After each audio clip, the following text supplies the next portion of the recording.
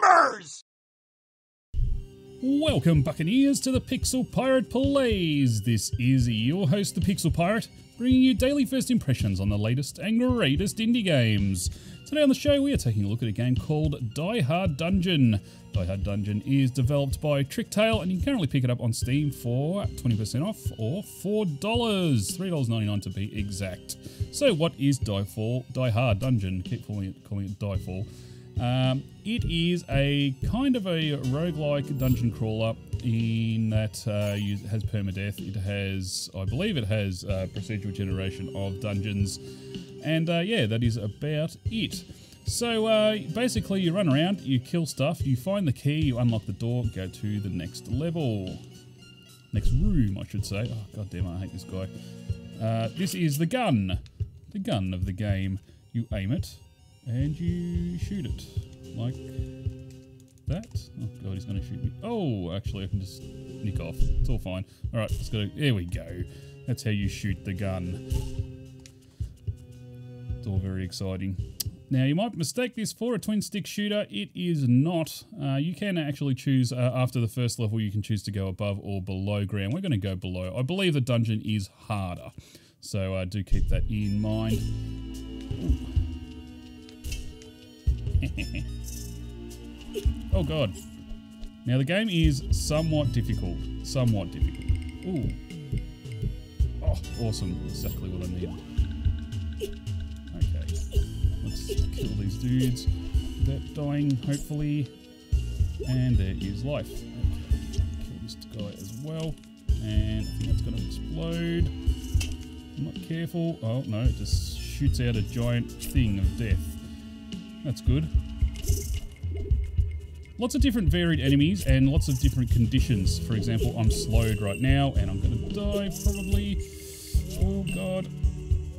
I thought I uh, destroyed that thing. I'm onto my last heart. There we go. Through the door.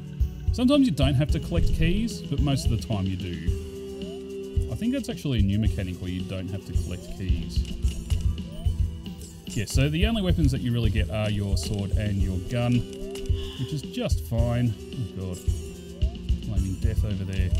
Um, and uh, yeah, it's it's simple. Oh god, I died. It's simple, but it's difficult. I think that's where like the gameplay comes into its own, in that it is a difficult game to to actually play. Once you you know you get used to it after a little while, it's you can progress further. But overall, it is. Oh, damn it, just one chance. I keep getting one. Sucks. Uh, overall, movement's increased. Cool. Overall, yeah, you just eventually die, and that's that's that. All right, let's get the hell out of here. Can't be bothered killing that dude. There are kind of bosses, I guess. Let's go up to the dungeon. In that there are like bigger enemies to kill.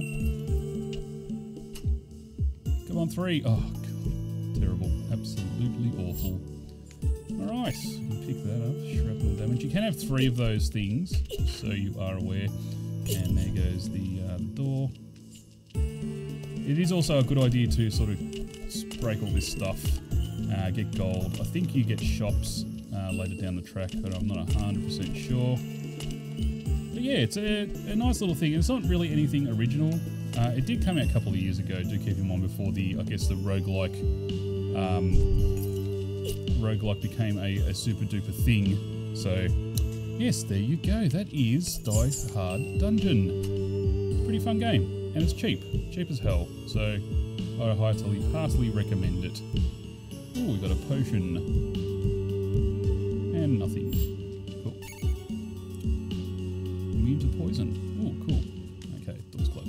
Yes, uh, as I said, you can pick it up on Steam for the grand total of $4 currently.